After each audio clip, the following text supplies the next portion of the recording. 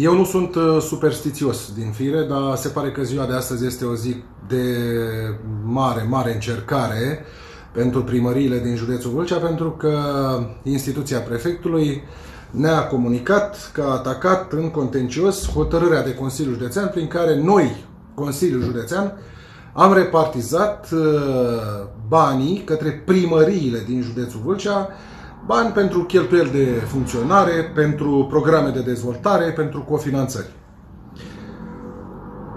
Într-o perioadă atât de grea și de complicată, gestul prefecturii, al prefectului, poate fi unul cu niște consecințe extrem de grave.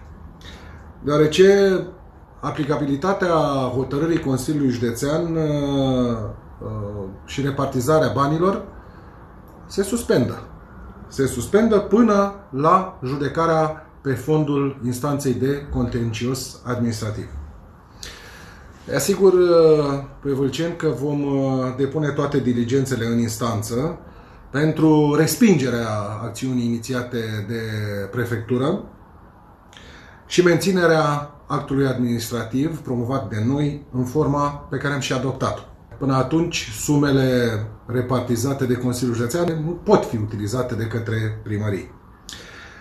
De asemenea, îi asigur pe colegii mei primari că rămân alături de ei și voi căuta soluții, evident, pentru a depăși uh, împreună această situație generată de atacarea în instanță uh, a hotărârii de către prefectură sub semnătura domnului prefect Tiberiu Coste.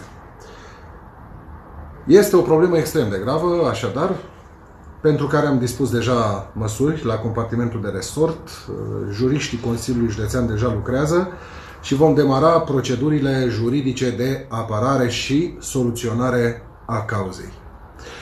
O să informez periodic asupra stadiului în care ne vom afla cu acest uh, proces, uh, dar, încă o dată, îi asigur pe colegii primari că suntem în dispozitiv și vom face toate demersurile legale pentru a depăși această situație foarte complicată generată de demersul prefectului.